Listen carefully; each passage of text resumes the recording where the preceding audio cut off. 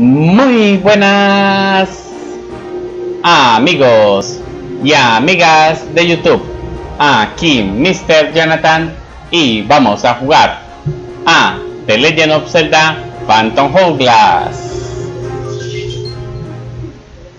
En el anterior capítulo hemos explorado, hemos ya acabamos de salir de la isla Banan y nos fuimos de pesca para demostrar lo que sería el minijuego de la caña, el cual se trata de pescar y todo con el lápiz táctil, todo con la pantalla táctil.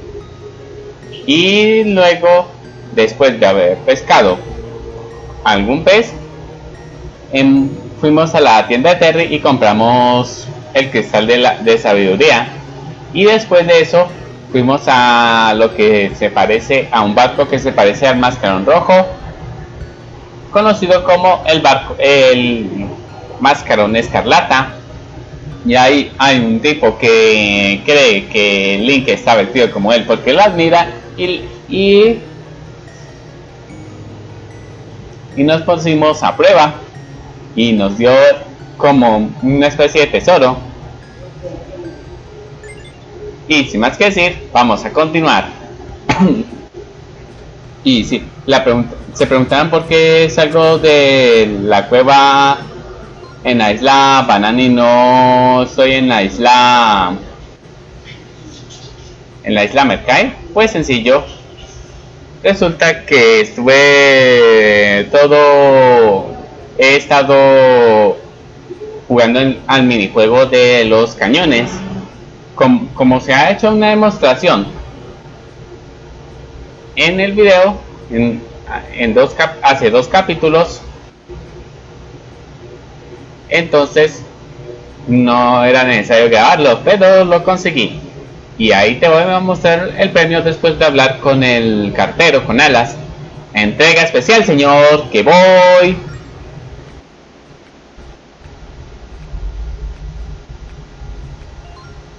Tienes una carta al señor Salvatore. Listo veamos qué dice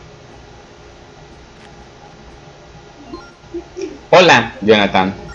Soy el maestro de los pasatiempos. Ha puesto que esperabas noticias mías.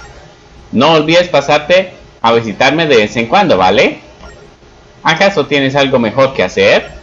Te estaré esperando aquí, donde si no, ya sabes dónde encontrarme, ¿no? Abrazos, Salvatore.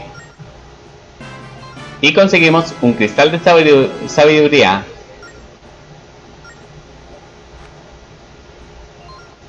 Fin de la carta. Bueno, mi misión cumplida. Ahora tengo que irme. Y el cartero con alas se va volando. Como decía, aquí te voy a mostrar las bombas. Y ya tenemos el máximo de 20. Antes teníamos el máximo de 10, pero eh, con el premio del minijuego del cañón hemos conseguido una bolsa para almacenar 20 bombas. Y mira tenemos 5 cristales de poder 4 de sabiduría y 3 de valor. Y te voy a mostrar algo más. Todo lo que pesqué está en, simplemente hay que simplemente hay que darle a esta flecha y, y te muestran las pescas que has tenido He pescado tres antunios y dos carabaya. Y vamos a la casa del viejo Trotamundos. Vamos a hacerle una visita al viejo Trotamundos. Para ver qué pasaría si le mostramos esos peces.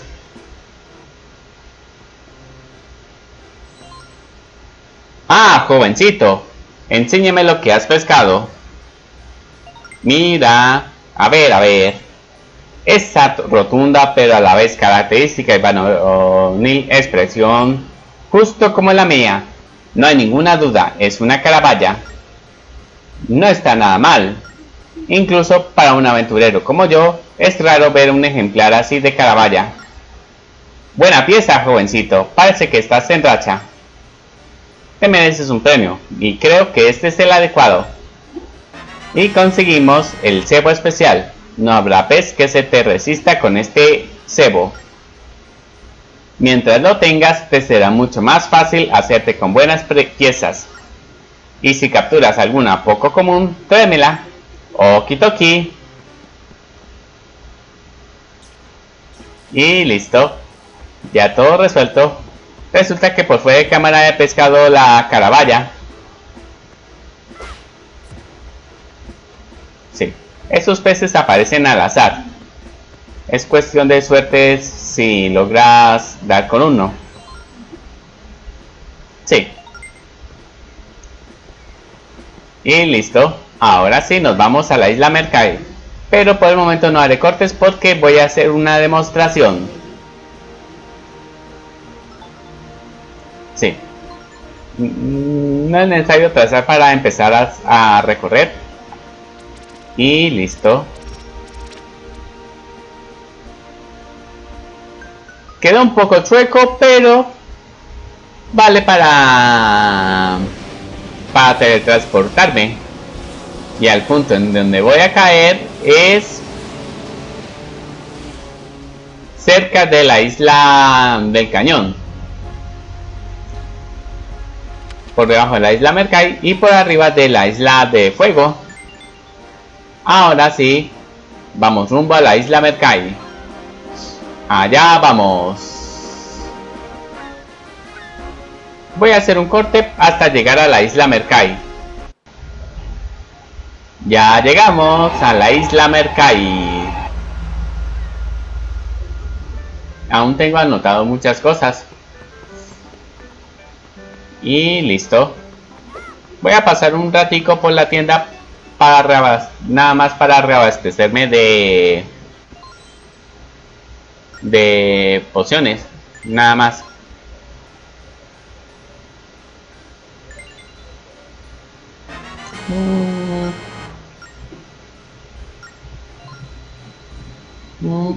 Veamos.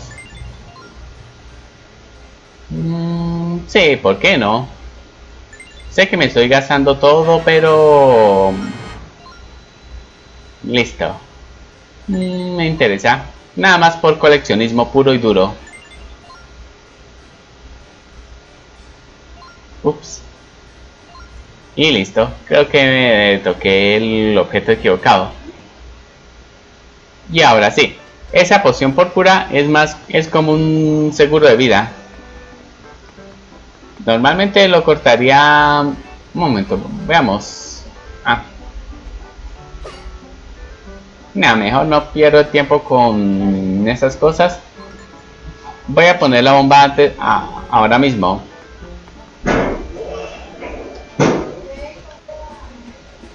Y ahora sí, vámonos. Fuera, chuchu. Un momento. Estas baldosas no eran como las de la isla de Saus. Ups. No tan rápido. Casi me da. Y, me, y conseguimos la mitad del corazón. Me pregunto... Nada, mejor démoslo así. De momento. Y vamos a poner una, una bomba. Y esperar. ¿Serio? Mm, ya. Ya me, ya veo. Hay que colocarlas muy cerca. Al fin. Tres bombas después. Y ahora veamos qué hay en esta cueva. En esta cueva albergan un primero la rupia, luego me lo cargo. Y ahora sí, saltemos, saltemos. Y fuera. Y ahora sí. Vamos por el cofre. Y conseguimos un cristal de poder. Y traería poder, pero no puedo usarlo en ese, en ese estado. Lo pondremos en el inventario por el momento. Y con eso van cuatro, van seis cristales de poder. mm, voy a anotar mejor el ojo por ya que ahí necesitaría la flecha. Mm, pues sí. No sé muy bien, no sé muy, no sé muy bien dibujarlo, pero bueno, ahí vale. Y mejor voy a borrar esas marcas que hice anteriormente para no confundir. Ya sabemos lo de eh, la, lo del templo del rey del mar y de la y ya el árbol ya lo sacudimos para no sé si se respawneará la rupia pero lo, lo averiguaré por fuera de cámara. Ya está borrado excepto la marca del ojo que lo averiguaremos más tarde ahora sí vamos a ir al templo del rey del mar ah y se me había olvidado una cosa ahorita vuelvo mejor lo hago después. Cuando vaya a ir a zarpar.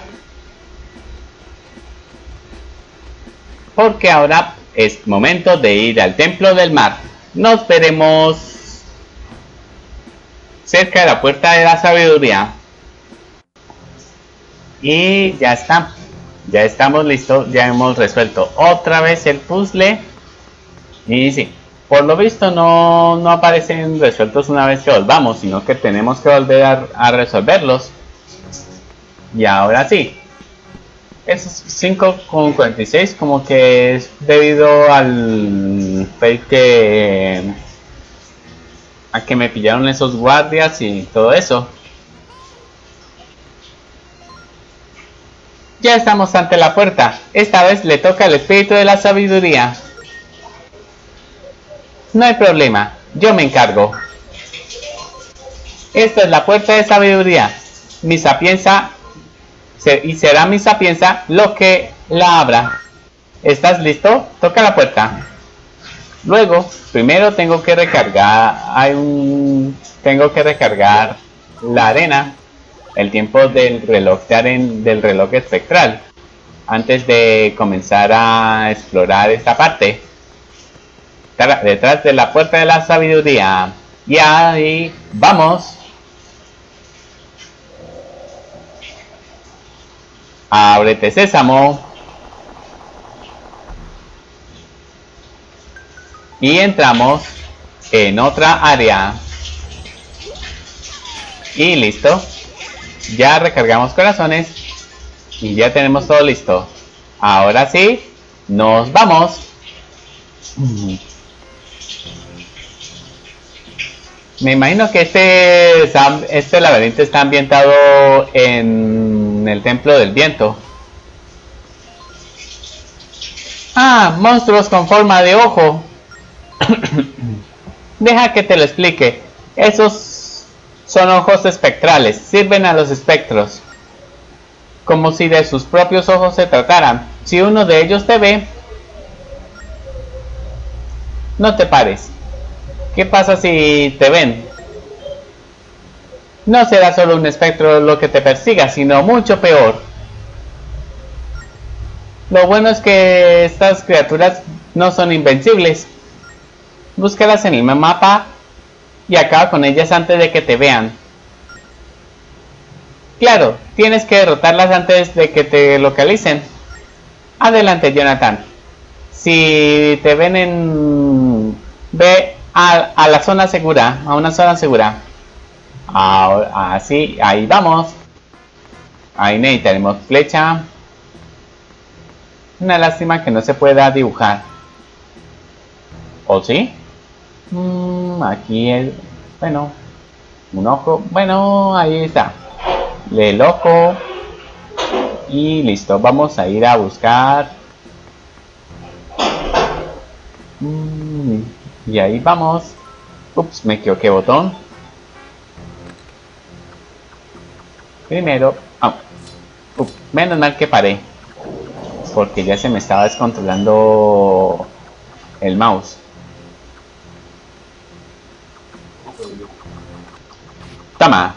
Dos pájaros de un solo tiro. Y tenemos que darle antes de que recobren la conciencia. La conciencia Y listo. Y recuperamos tiempo.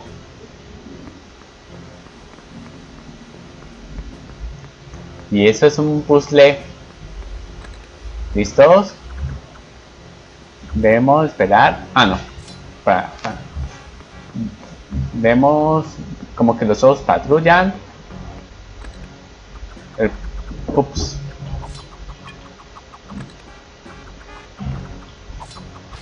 Y listo, antes de que me vean.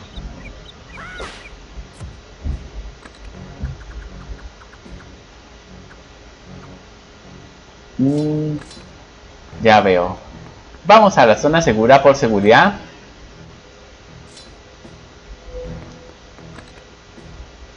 Y listo. Oh, oh. Eso es lo... ¿Ya me vio? Vaya, vaya. No se los focos, pero sí el radio.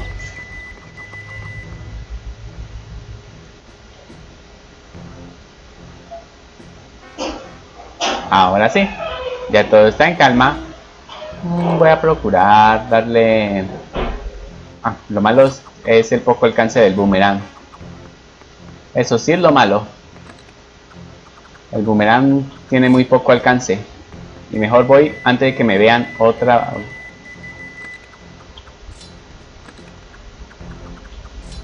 Mm. Y ahí viene.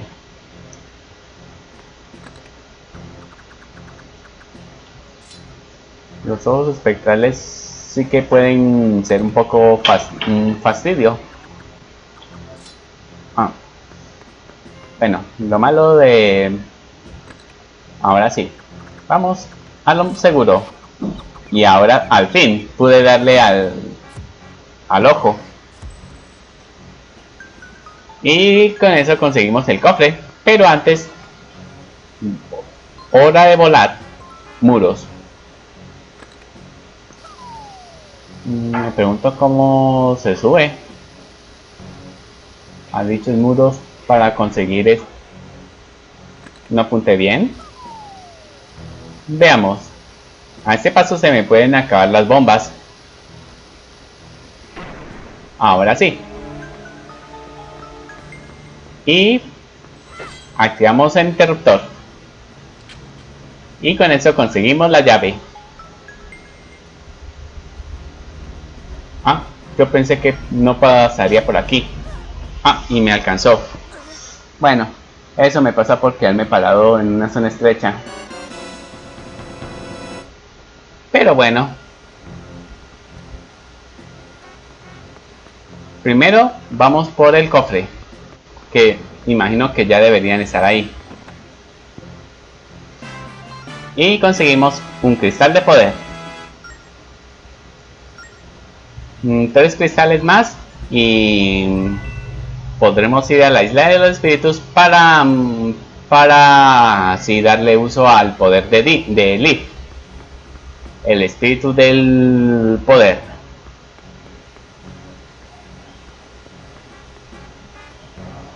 Muy pronto verán los efectos del poder de Leaf. Y listo.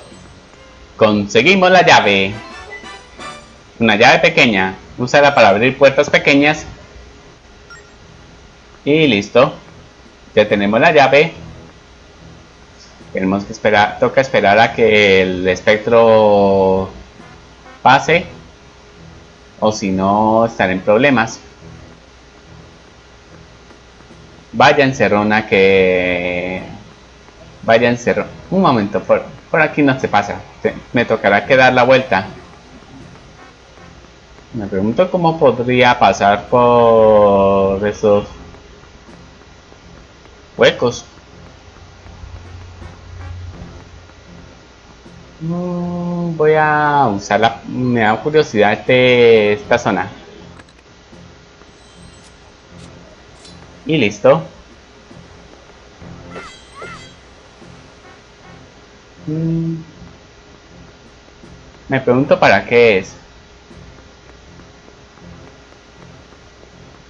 Nada, mejor no me pongo a investigar y más bien me pongo a abrir la puerta. porque ya suficiente tiempo ya está corriendo el tiempo creo que es el mejor momento para dejarlo por ahí si les gustó no duden en darle un like suscribirse si todavía no lo están activar la campanita para recibir las notificaciones y por qué no compartir el video con sus amigos. Eso es todo amigos, aquí Mr. Jonathan y nos vemos la próxima. Hasta luego.